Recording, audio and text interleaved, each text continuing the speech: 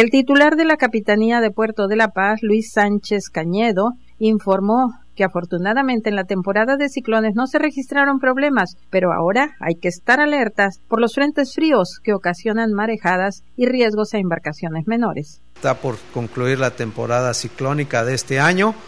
y afortunadamente para la Baja California Sur el impacto fue benéfico ya que el único que se acercó a las costas pues nos trajo un poquito de agua, ¿no? Y pues sí, ahora ya estamos a entrar próximamente en el mes de diciembre la temporada invernal, que son los frentes fríos, los cuales pues sabemos que bajarán un poco la temperatura y posiblemente este algo de viento, ¿no? Entonces este, también tenemos que tomar las precauciones para todas las embarcaciones que se dedican al turismo náutico, que lleven como siempre se les ha indicado, sus chalecos salvavidas, sus medios de comunicación y sobre todo que se reporten a la Capitanía de Puerto al momento del zarpe y de su arribo. Nosotros tenemos siempre, permanentemente un operativo de revisión aleatoria de las embarcaciones que se hacen al turismo náutico o a la pesca,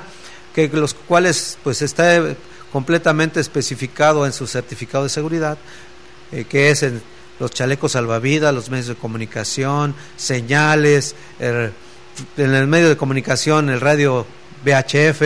eh, los chalecos salvavidas para los tripulantes y los pasajeros, el pescador pues también tiene que cumplir con las normas que establece su certificado de seguridad para prevenir la vida humana en la mar. Dijo que a la dependencia a su cargo le corresponde la vigilancia en el interior de los puertos con operativos de supervisión y es a la Armada de México a la que le toca actuar cuando hay incidentes mar adentro. Por otra parte, mencionó que el 12 de noviembre se celebrará el Día Marítimo Mundial, en donde se dará a conocer la historia de la navegación y lo que representa la actividad de la Marina Mercante en nuestro país. Para Televisión La Paz, Canal 10 informa Marino Gales en la cámara Gilberto Lucero.